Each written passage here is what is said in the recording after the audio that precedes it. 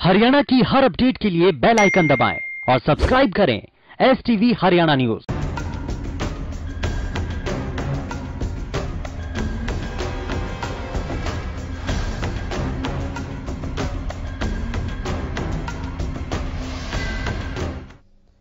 नमस्कार, आप देख रहे हैं हल्ला बोल कार्यक्रम और मैं हूँ आपके साथ शुभेंदु सिंह और आज हल्ला बोल कार्यक्रम के ज़रिए हम जरा उन व्यवस्थाओं को लेकर बात कर रहे हैं जो कि अलग अलग जगहों पर होती है। लेकिन आज हम जिस तस्वीर को आपके साथ साझा करने जा रहे हैं, वो तस्वीर रेलवे स्टेशन की है, रेलवे प्रशासन की है। दरअसल, रेलवे स्टेशन प्रशासन की एक बड़ी लापरवाही सामने आई है। पीने के पानी की टंकी में मरी हुई छिपकली मिली हुई है। रेलवे स्टेशन पर यात्रियों की जान से खिलवाड़, क्या इसको नहीं माना जाए? अधिकारियों को यात्रियों की जान की कोई परवाह नहीं है। जाँच अधिकारियों ने मामले को अनदेखा किया है।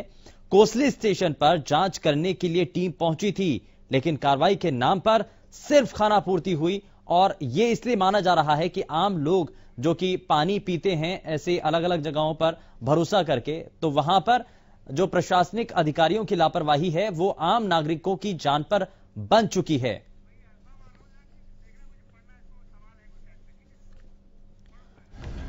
तो रेलवे स्टेशन प्रशासन की लापरवाही का आखिर जिम्मेदार कौन है? ये बड़ा सवाल। वहीं यात्रियों की जान के साथ खिलवाड़ पर आखिर किसकी जवाबदेही है? अधिकारियों की अनदेखी का खामियाजा जनता क्यों भुगते? क्योंकि जब कमियाँ अधिकारियों की है तो जनता आखिर भुगतान क्यों करे? लेकिन सुविधाओं के नाम पर आखिर खाना पूर्ति कब तक होती रहेगी? ये कुछ गंभीर और अहम सवाल है, जिनकी ज़रिए हम आज का ये कार्यक्रम आपके सामने हमने रखा है, आज का विषय हमने रखा है, और टीवी स्क्रीन पर लगातार आप देख रहे हैं, नंबर फ्लैश हो रहे हैं। यदि ऐसी व्यवस्थाओं को लेकर आप भी आज हल्ला बोलना चाहते हैं तो कार्यक्रम में जुड़कर आप अपनी बातों को साझा कर सकते हैं। दरअसल कोसली स्टेशन पर रेल यात्रियों के लिए बनी पीने के पानी की टंकियों में मरी हुई छिपकली मिलने से पूरे इलाके में हड़कंप मच चुका है।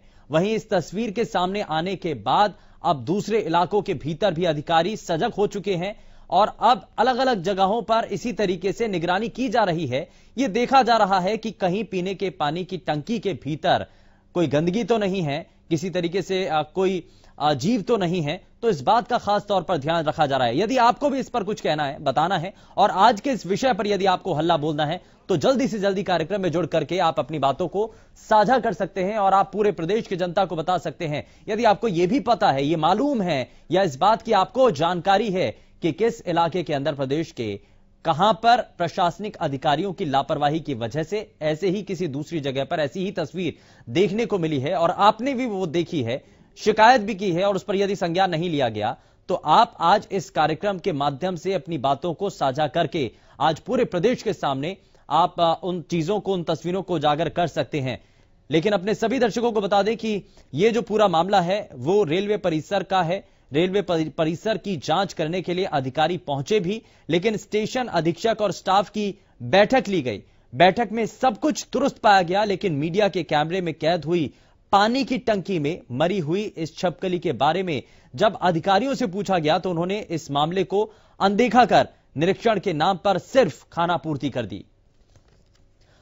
और रोहतक से हमारे साथ कॉलर कार्यक्रम में जुड़ चुके हैं ज़िले सिंह। बहुत स्वागत है ज़िले सिंह जी आपका कार्यक्रम में। बताइए, आज के विषय पर क्या कहेंगे आप? आप दिन प्रतिदिन कोई न कोई समस्या जो है ना समस्या से प्रशासन प्रशासन को अवगत कराते हैं। बहुत अच्छी बात है, आपका बहुत बहुत धन्यवाद। लेकिन आप कहाँ कहाँ, किस किस महकमे में देखोगे, हर जगह जो है ना, अधिकारियों की लापरवाही जो है, नज़र आई जाती है। अब पीने का पानी है टॉयलेट वगैरह है, वहाँ पे जो भी यात्रियों के बैठने की जगह है, वहाँ का सफ़ाई का और वहाँ की सुरक्षा का जो है ध्यान अधिकारियों को देना चाहिए।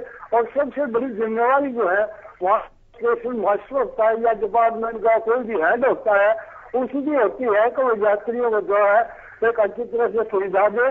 और जो पानी का है या ड्रिंक्स वगैरह अलग है उनका समय समय पर इंस्पेक्शन करना चाहिए, ताकि किसी तरह से, किसी तरह यात्री को परेशानी ना हो। धन्यवाद। बहुत शुक्रिया जले सिंह जी, आप हमारे साथ कार्यक्रम में जुड़े और इस आज के कार्यक्रम के ज़रिए और आज का जो विषय हम लगातार आपके सामने रख रहे हैं, उसके ज़रिए यदि आप कुछ बताना चाहते हैं, इस विषय पर यदि आप कुछ कहना चाहते हैं, आप कुछ बोलना चाहते हैं, आप ये बताना चाहते हैं कि ये ऐसी तस्वीरें आपने कहीं और भी देखी हैं, या फिर आपको लगता है कि जो नागरिक हैं आम जनता है, ये भरोसा करके अब यदि कोई भी नागरिक रेलवे स्टेशन जाता है या किसी भी और दूसरे संस्थान जाता है या अस्पताल चला जाता है या फिर किसी और दूसरी जगह पर चला जाता है तो वहाँ पर ये भरोसा करके वो पानी पी लेते हैं कि वहाँ पर बकायदा अधिकारी निरीक्षण करते होंगे, देखते होंगे, बकायदा रूटीन चेक किया जाता होगा, इन टंकियों के भीतर भी जहाँ पर पानी स्टोर किया जाता है। इस भरोसे के साथ हम ये सोच करके पानी पी लेते हैं कि साफ़ स्वच्छ पानी है, लेकिन आपको ये मालूम नहीं है कि जिस पानी को आप पी रहे हैं, जिस टंकी के अंदर से वो गुजरता हुआ पानी आप तक आ रहा है, वो क्या वाकई में साफ़ है भी या नहीं? क्या आपको लगता नहीं कि इस पर सरकार को, अधिकारियों को कोई कड़ा इसमें एक्शन लेना चाहिए? और खास तौर पर यहाँ पर जो संबंधित विभाग के अधिकारी हैं, उनको इस पर कुछ ना कुछ गंभीर रूप से कदम उठाने होंगे। दरअसल ये तस्वीरें आप कोसली रेलवे स्टेशन की देख रहे हैं, जहाँ पर रेल यात्रियों के लिए पीने के पानी की व्यवस्था दी गई। ताकि कोई भी यात्री परेशान ना हो, उसको पीने का पानी साफ़ तौर पर मिल सके। और ऐसा नहीं है, बाकायदा इन टंकियों की सफ़ाई के लिए अलग अलग समय पर बजट भी अलॉट किया जाता है, ज़िम्मेदारी भी तय की जाती है, और यह भी तय किया जाता है कि इतने महीने में इन पानी की टंकियों को साफ़ किया जाना चाहिए। लेकिन कितने समय बाद और कितने समय तक इन पानी की टंकियों को साफ़ किया जाता है यह बड़ा सवाल है। और यदि आप भी इसको लेकर के कुछ बताना चाहते हैं, कुछ कहना चाहते हैं, आपको लगता है कि इसमें लापरवाही किसकी है, जवाबदेही आखिर किसकी है? यदि इस पानी को कोई पी ले और कोई बीमार हो जाए तो आखिर कौन इसके लिए जिम्मेदार होगा? क्या प्रशासनिक अधिकारी जिम्मेदार होंगे? क्या वहाँ के जिला अधिकारी जिम्मेदार होंगे? क्या वहाँ के स्थानीय नेता जिम्मेदार होंगे? या फिर सरकार इसके लिए जिम्मेदार होगी? आखिर जवाबदेही किसकी बनेगी? कौन इसके लिए जवाब देगा यदि किसी का कुछ भी नुकसान होता है? यदि आम नागरिक ये पानी पी ले और यदि वो बीमार पड़ जाते हैं तो कौन इसके लिए ज़िम्मेदारी लेगा? यह बड़ा सवाल है, लेकिन इन्हीं सवालों के साथ कुछ और चीज़ें भी हम इस कार्यक्रम के ज़रिए आपके सामने रख रहे हैं। दरअसल, कोसली स्टेशन जाँच करने के लिए टीम पहुँचती है। बकायदा जाँच की जाती है। जाँच अधिकारियों ने मामले को देखते हैं, लेकिन जानकर अनदेखा कर दिया जाता है। खाना पूर्ति करके अधिकारी किस तरीके से देखिए, काम कैसे होता है अधिकारियों का, वो आते हैं, खाना पूर्ति सिर्फ़ की जाती है इधर उधर बाकी चीज़ों को देख लिया जाता है, लेकिन असल चीज़ों को नहीं देखा जाता है। और यही कारण है, लापरवाही जो ऊपर से शुरू होती है, वो नीचे तक नज़र आती है। जब अधिकारी इस पर संज्ञान नहीं लेते हैं, कोई ध्यान नहीं देते हैं तो जिम्मेदार जो लोग हैं, जो कर्मचारी हैं, वो भी इस ऐसे मसलों को नजरअंदाज कर देते हैं। और उसी का एक ये स्वरूप नज़र आया है, उसी की एक तस्वीर सामने आई है, जिसमें पानी की टंकी के भीतर छिपकली मिली है। और सवाल यह है कि आखिर ऐसी बड़ी गलती कैसे हो सकती है? और इतनी बड़ी लापरवाही पर अधिकारियों की अनदेखी से अंदाज़ा लगाया जा सकता है कि रेल अधिकारियों को यात्रियों के स्वास्थ्य की आखिर कितनी चिंता है। सवाल यह भी खड़ा होता है कि जब अधिकारियों को यह सब देखने का जिम्मा सौंपा गया है, जिन कर्मचारियों की बकायदा ड्यूटी लगाई जाती है, हर कुछ समय बाद यह ड्यूटी निर्धारित की जाती है कि तीन महीने बाद या दो महीने बाद पानी की टंकियों का रूटीन चेकअप किया जाएगा। वहाँ देखा जाएगा कि पानी की टंकी के भीतर गंदगी तो नहीं है, उनकी सफ़ाई के लिए बकायदा एक निर्धारित समय तैयार किया जाता है, कर्मचारियों की ड्यूटी लगाई जाती है तो आखिर कर्मचारी अपनी ड्यूटी को पूरा नहीं करते हैं। क्यों नहीं कर रहे हैं? और अगर कर्मचारी यदि ड्यूटी अपनी पूरी नहीं कर रहे हैं तो संबंधित विभाग के अधिकारी आखिर इस पर कोई एक्शन क्यों नहीं लेते हैं? क्या ऊपर से लेकर नीचे तक पूरी एक चेन है, पूरा एक सिस्टम है जो लापरवाही बरतता हुआ नज़र आ रहा है? सवाल यह खड़ा होता है कि जिन अधिकारियों को यह सब देखने का जिम्मा सौंपा गया है और वही इसको अनदेखा कर दें तो यात्रियों को सुखद और मंगलमय यात्रा का सपना दिखाने वाली रेल आखिर कैसे उनके सपनों को पूरा करेगी और कैसे उनको ये माना जा सकता है, क्योंकि ना सिर्फ़ हम ये बात रेलवे की कर रहे हैं, हालाँकि तस्वीर ज़रूर कोसली के रेलवे स्टेशन से सामने आई है, लेकिन आप किसी भी सरकारी संस्थान में चले जाइए, आप निजी संस्थानों के अंदर जाइए, कई बार ऐसी तस्वीरें देखने को मिलती हैं, और कई ऐसी जगह हैं जहाँ पर सरकारी संस्थानों के भीतर जो पानी की टंकियों की चेकिंग होनी चाहिए, वो समय पर नहीं होती है। तीन महीने या छह महीने या एक साल का जो समय दिया जाता है, उस दौरान इन पानी की टंकियों की चेकिंग नहीं की जाती है, कोई देखरेख नहीं की जाती है, देखभाल नहीं होती है।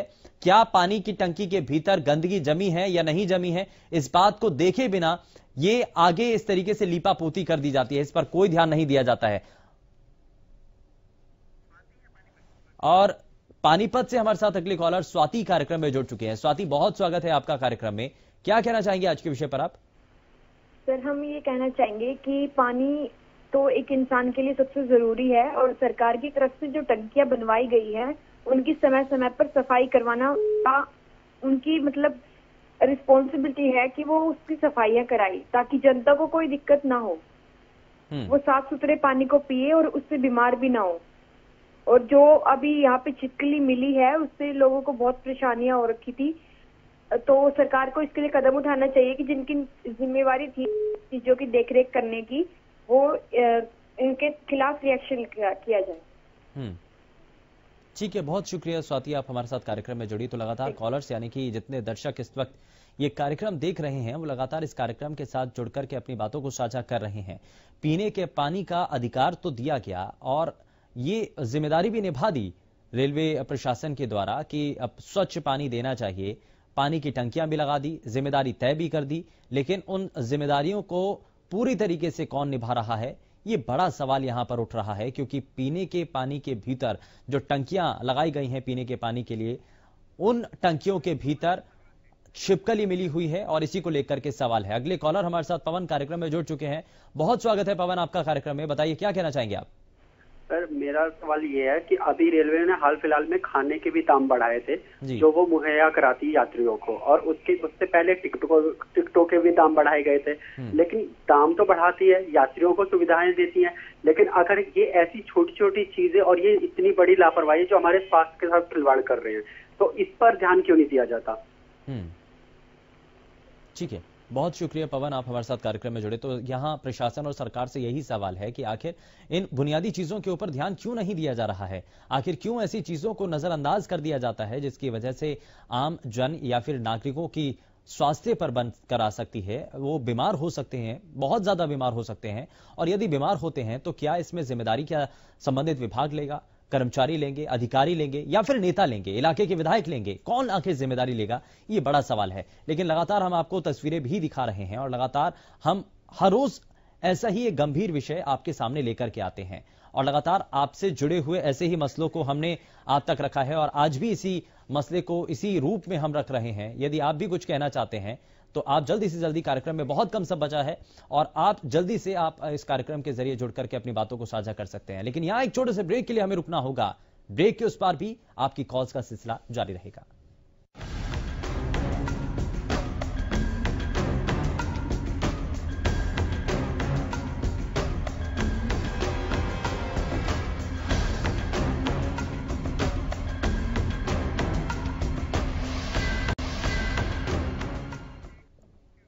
ब्रेक के बाद आप सभी का स्वागत है हल्ला बोल कार्यक्रम में और हल्ला बोल कार्यक्रम के ज़रिए आज हम कई तस्वीरों को आपके सामने रख रहे हैं। हम हर रोज एक विषय के साथ आपके सामने होते हैं और आज हल्ला बोल के ज़रिए हम यहाँ पर व्यवस्थाओं को लेकर के सवाल उठा रहे हैं और आपके सामने एक तस्वीर भी हमने पेश की है। दरअसल ये तस्वीर कोसली की है, जहाँ रेलवे स्टेशन के भीतर पीने के पानी की व्यवस्था तो की गई है, लेकिन उस पानी को जो पिएगा वो मुसीबत में पड़ जाएगा क्योंकि ये जहरीला पानी है, क्योंकि इसमें छिपकली मरी हुई है और यदि इस पानी को कोई पी ले तो कितना नुकसान उसको होगा, उसके स्वास्थ्य पर होगा? ये बहुत सारे ऐसे कई सवाल हैं। तो जब हम साफ़ पानी और स्वस्थ, स्वच्छ पानी देने की बात करते हैं, इस बात पर, इस इरादे पर सरकार लगातार आगे बढ़ने की बात करती है, लेकिन दूसरी तरफ़ इलाकों के भीतर क्या हो रहा है? कई सवाल हमने इस कार्यक्रम के दौरान आपके सामने रखे हैं। सवाल ये कि आखिर रेलवे स्टेशन प्रशासन की लापरवाही का इसमें जिम्मेदार किसको माना जाए? क्योंकि कर्मचारियों की ड्यूटी होती है, अधिकारियों का वहाँ पर निरीक्षण होना चाहिए।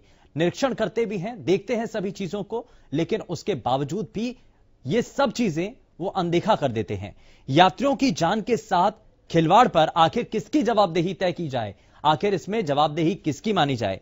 अधिकारियों की अनदेखी का खामियाजा आखिर जनता क्यों भुगते? क्योंकि यहाँ लापरवाही कर्मचारियों के द्वारा है, अनदेखी अधिकारियों की है, सरकार इस पर मौन है और जनता आखिर यदि कोई नुकसान होता है तो जनता उसकी भरपाई क्यों करे? और सुविधाओं के नाम पर यह खाना पूर्ति कब तक चलती रहेगी यूँ ही? ये एक बड़ा और अहम सवाल है। ये तस्वीरें लगातार हम आपके सामने साझा कर रहे हैं जो कि ये बता रही हैं कि सिस्टम किस तरीके से हमारी चीज़ों को, आम जनता, आम नागरिकों की चीज़ों को अनदेखा कर रहा है। और यहाँ प्रशासनिक व्यवस्थाओं को लेकर भी ज़रूर सवाल उठ रहे हैं कि यदि कर्मचारियों की कोई नियत एक ड्यूटी लगाई जाती है, उनका जो काम है, आखिर वो अपना काम क्यों नहीं कर रहे हैं? कर्मचारियों को यदि एक ड्यूटी लगाई जाती है कि उनको रूटीन चेकअप किया जाना है, देखना है उनको हर तीन महीने में, एक महीने में, छह महीने में पानी की टंकियों के भीतर क्या वाकई में सफ़ाई बनी हुई है या नहीं हुई है तो यदि ऐसा नहीं हो रहा है तो क्यों आखिर अधिकारियों के द्वारा ऐसे कर्मचारियों के ऊपर कार्रवाई की जा रही है? यदि नहीं की जा रही है तो क्या अधिकारी भी इस सब में संलिप्त हैं? क्या यह माना जाए कि अधिकारी भी काम नहीं कर रहे हैं? और यदि कर रहे हैं तो क्यों नहीं आखिर ऐसे कर्मचारियों के ऊपर एक्शन लिया जा रहा है? और वहीं दूसरी तरफ़ यहाँ जवाबदेही की भी बात है। जवाबदेही आखिर किसकी? जवाबदेही क्या सरकार की नहीं है? क्या संबंधित विभाग की नहीं है? क्या उन अधिकारियों की नहीं है जो सिर्फ़ यहाँ पर निरीक्षण करने के लिए आते हैं, खाना पूर्ति करते हैं और वापस लौट जाते हैं, लेकिन देख नहीं सकते हैं कि आखिर कहाँ कहाँ पर क्या व्यवस्थाएँ होनी चाहिए, कितने समय के अंदर क्या रूटीन चेकअप होता है। और यदि अधिकारी ही इन चीज़ों को नजरअंदाज कर देंगे तो आखिर इस पर कौन ध्यान देगा? ये बड़ा सवाल है और ऐसे कई सवालों के साथ हमने आपके सामने कई तस्वीरें रखी हैं, जिस पर आप सभी के द्वारा राय रखी गई है, बहुत सारे सुझाव रखे गए हैं, आप सभी की तरफ़ से अपनी प्रतिक्रियाएँ रखी गई हैं और इस कार्यक्रम के ज़रिए हम ये उम्मीद करते हैं कि प्रदेश के दूसरे हिस्सों के भीतर ऐसी तस्वीरों को बदला जा सकेगा और अधिकारियों की इस लापरवाही का खामियाजा कम से कम जनता को ना भुगतना पड़े और अधिकारी भी इस पर सजग होकर काम कर सके। फ़िलहाल के लिए बस उतना ही। नमस्कार।